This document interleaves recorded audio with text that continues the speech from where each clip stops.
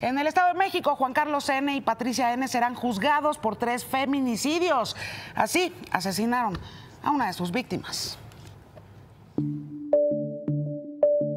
Me siento muy mal, muy mal porque cuando yo supe que ya lo iban a detener, yo pensé que iba a abrazar a mi hija. No pensé que le iba a encontrar así. Ahorita ya, pues ya no las entregan,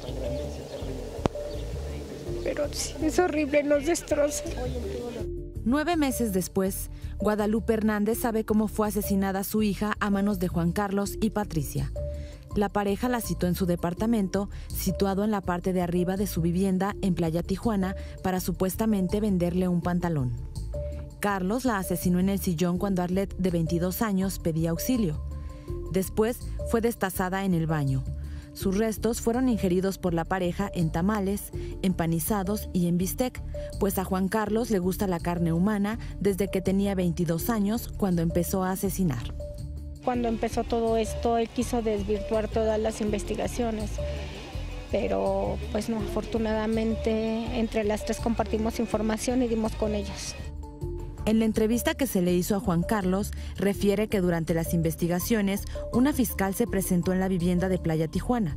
Pensó que ella subiría a su departamento donde aún había restos de Arlette. Tendría que asesinarla. En la audiencia inicial de formulación de imputación, la pareja de homicidas solicitó una prórroga de 144 horas para vinculación a proceso. Entonces vamos a estar en espera de lo que manifieste la juez eh, la próxima audiencia el día viernes para que determine su situación jurídica y bueno, continuar con las demás investigaciones correspondientes.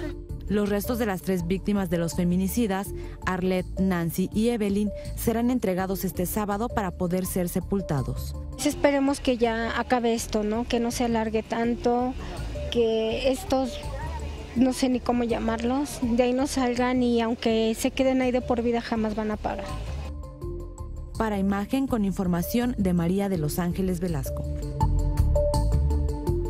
Imagen Noticias con Yuridia Sierra, lunes a viernes 2 pm. Participa en Imagen Televisión.